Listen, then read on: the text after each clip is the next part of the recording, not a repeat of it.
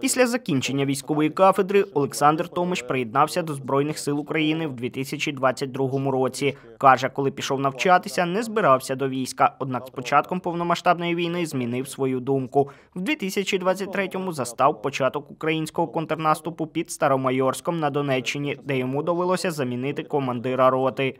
І він їздив на машині по посадкам і накидував по оркам. Накидував, накидував, поки його ланцет не словив.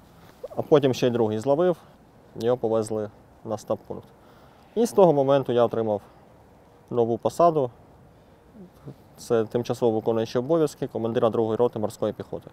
Пригадує, як доводилось штурмувати позиції росіян. По статуту е, штурм відбувається у відношенні 1 до 3. Три нападаючих на одного захисника.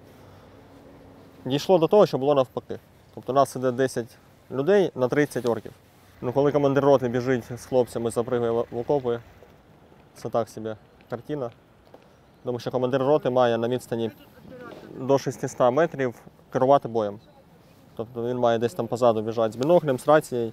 Потім уже на п'ятий, на шостий штурм зрозумів, що ну його в баню страшно. Я командир, треба командувати. Каже, під час одного з боїв взяли в полон російського військового. Ми закріпились е, 50 метрів до підерської позиції. Повністю вона пуста, але там сидить один бурят на кулеметі і нікого не, не, не пропускає. І це ми сиділи, ждали, поки в нього закінчиться БК. Його побратими до нього так і не вернулись.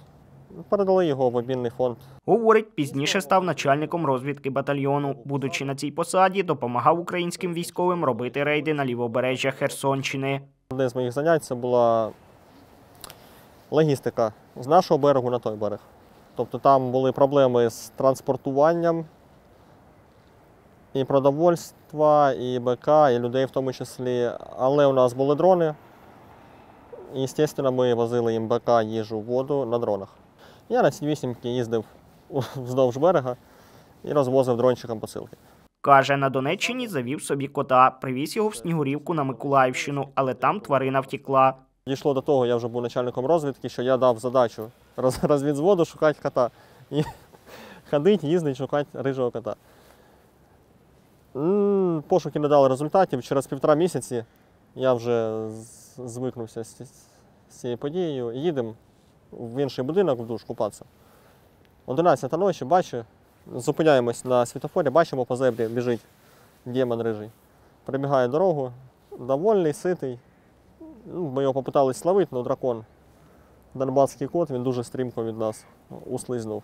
Зараз каже чоловік, займається рекрутингом людей до військово-морських сил. Говорить, його мотивація допомогти людям знайти у війську дотичні спеціальності до своїх в цивільному житті. Доктор наук, у нього там чотири вищі освіти, але він кулеметник, бляха-муха, і він штурмує посадки. Розумний, інтелігентний чоловік штурмує посадки. Не, не, не на тому місці взагалі, де він має бути. І я з думками, що треба щось з цим робити, прийшов в рекрутинговий центр. Зараз намагаюсь не допускати таких речей. Каже, жартома популяризовували морську піхоту України на Курщині. Скільки? Два тижні пройшло, коли два тижні чи більше, коли третя ОШБ виклала фотографію на п'ятерочки. Ну і в нас ну, заздрість з'явилась, типу, що, що вони можуть, а ми не можемо. І ми ж почали дзвонити 36-ту, давайте, давайте теж. Ну і зараз, да, росіяни ходять по своїм містам і бачать наклейки з морською піхотою з номером телефону нашого центру. Зараз, каже Олександр, хоче принести максимум користі заради перемоги України. Назарій Рубаняк, Юрій Руденко, Суспільне, Новини, Миколаїв.